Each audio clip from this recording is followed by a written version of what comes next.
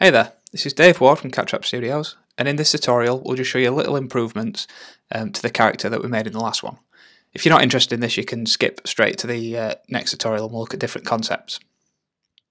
So, um, as a little recap, uh, we've got a character object which has got a sprite render attached to it, which shows this um, image, Peasant 1.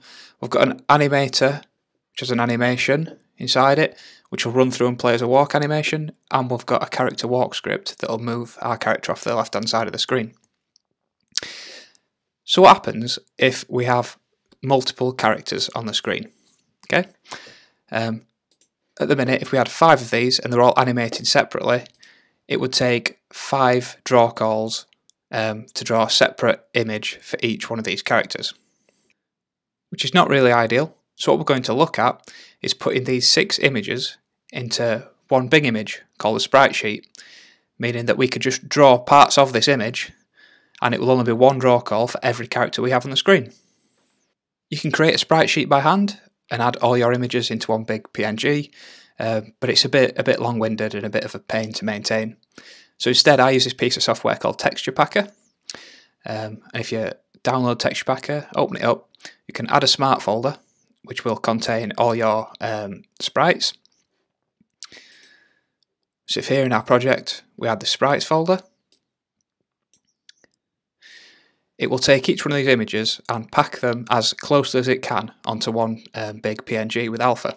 So I've got a 1024 by 1024 image here. Um, you want to make sure the data format is a Unity texture 2D sprite sheet.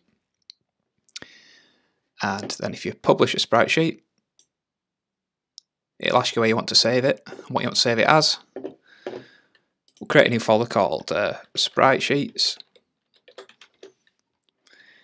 and save it in here as character.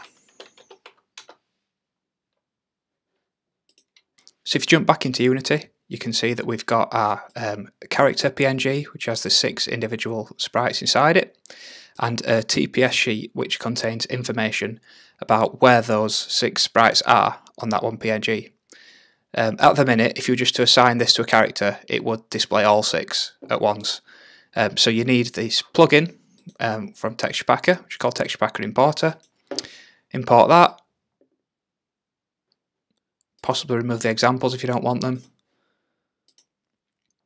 And this will import a DLL into your project, which um, will look at any um, PNGs which have an associated sprite sheet and break them down into the sprites, individual sprites. So if you were to re-import inside the sprite sheets folder, um, you can see that it's broken this one image now down into six individual sprites.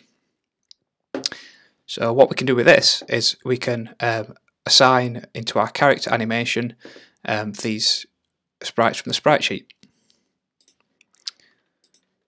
So let's delete our original one so we don't get them confused.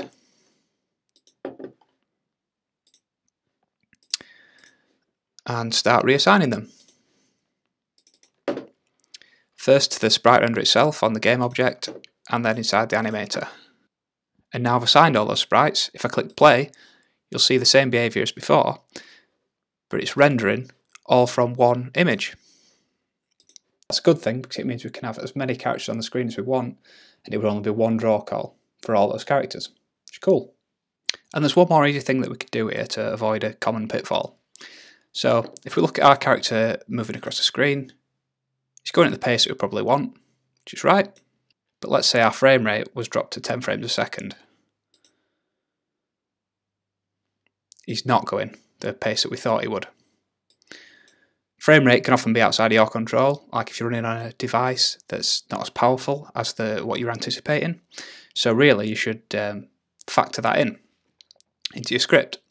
So if we jump back to um, our character walk script, as you can see in our update function, we're translating minus 0.05 units, no matter what happens.